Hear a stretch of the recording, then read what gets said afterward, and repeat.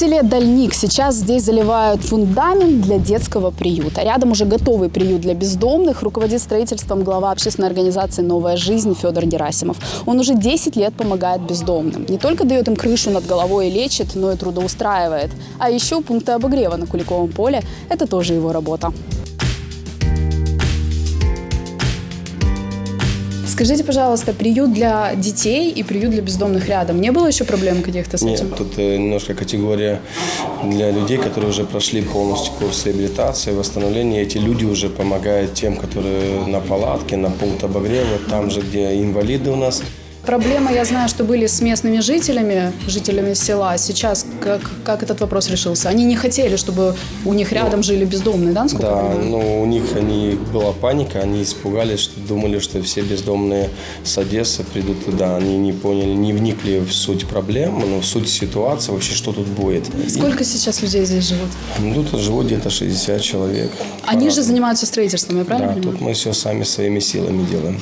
Все мы сами строим. Можно нам экскурсию? Я знаю, что к вам приезжают со всей Украины посмотреть на ваш приют, как он должен, каким он должен быть Да. по всей стране. Кто к вам приезжал?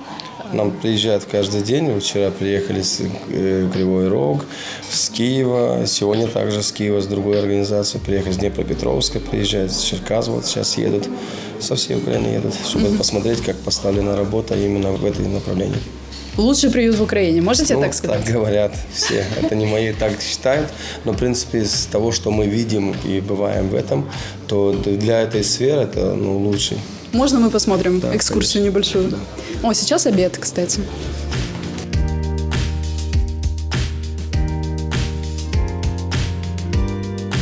Вот такие у нас комнаты. Да, живут по 4 человека в комнате. Есть женские, есть мужские Да, комнаты, это, да? это, ж- это мужской корпус, там женский корпус. есть. Вот такие. Они следят сами за порядком. Да, они- сами сидят, э, дежурят. Сколько реабилитация первый этап занимает, чтобы переехать вот в этот дом? Ну, э, первый этап занимает от 6 где-то до года. Это первый этап, чтобы это уже видим по человека. Иногда бывает за 6 месяцев он несколько раз может сорваться.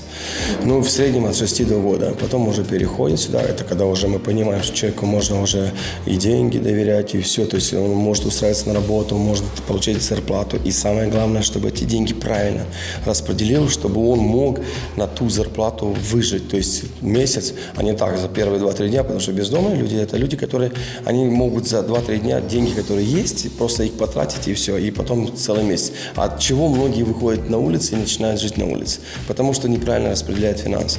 Расскажите, пожалуйста, о детях. В месяц вы говорили, сколько вам встречаются бездомных детей? Ну, нам встречается каждый месяц, 2-3 случая бывает, это то, что мы встречаем. А так звонят постоянно, звонят и просят э, о том, чтобы принимать маму. То двое, то трое, то четверо. Э, семьи бывает, матеряка, э, насилие дома. И они уже не выдерживают и уходят. Некоторые спиваются, некоторые борются. И нам звонят со всех служб, департаментов, пожалуйста, можете. Мы только начали проект строить. Мне уже, я думаю, что мы только его запустим, за месяц он будет полный. То есть вот За месяц будет полный детский приют. Мы идем в женскую часть приюта. Так, я вижу игрушки. Здравствуйте. Это у вас ребенок? Да. Расскажите, пожалуйста, о ребенке, о том, нужен ли ему, как вы считаете, по соседству приют, тоже дом. Конечно, нужен. У нас получилась такая ситуация, что мы остались без жилья.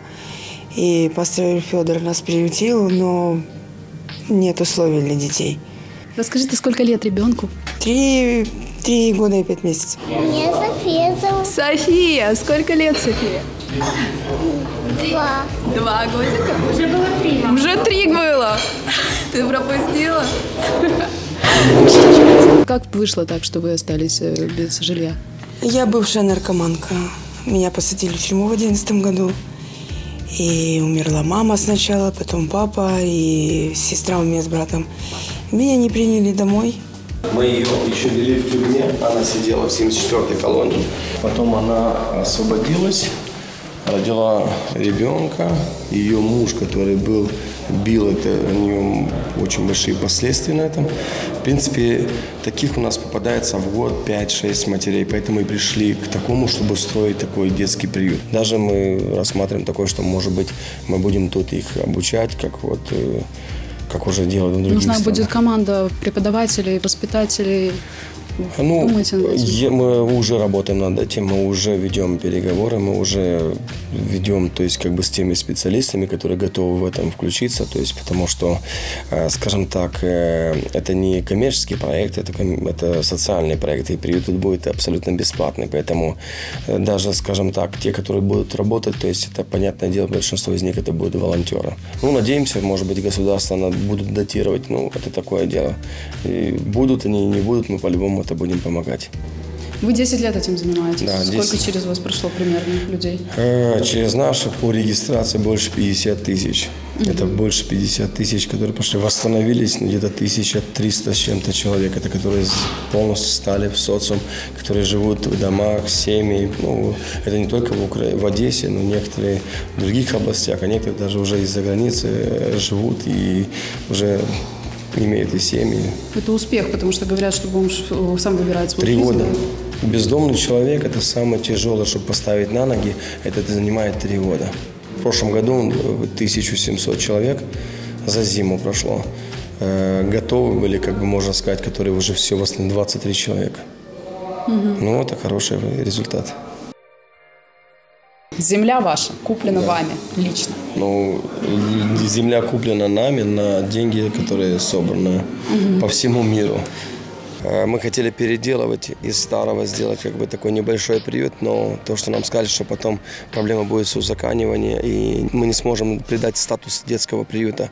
Примерно приблизительно мы планируем на 70 детей. С учетом дети, которые вот мы уже 10 лет работаем в этой сфере, и за год, ну, в среднем попадается ну, 10-12, ну, до 15 таких случаев, когда приходят либо на улице, либо там, где мы кормим, либо там, э, где пункт обогрева, приходят э, мамочки с маленькими детьми, и мы всегда вызываем соцслужбу, они приезжают и по всем законам, то есть лишают. Ребенка только отнять можно. Только отнимает и все, и, а потом забрать ребенка это практически невозможно. Ей придется потом доказывать так, что она социально защищена, что даже обычные люди, которые имеют дом и у них все благополучно, они не могут. Тут будет, в принципе, детская площадка, тут и небольшой стадион будет для них, тут полностью вся эта зона будет для детей.